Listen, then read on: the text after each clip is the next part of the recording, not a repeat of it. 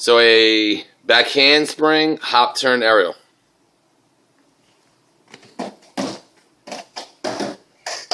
Good, go down there and do it.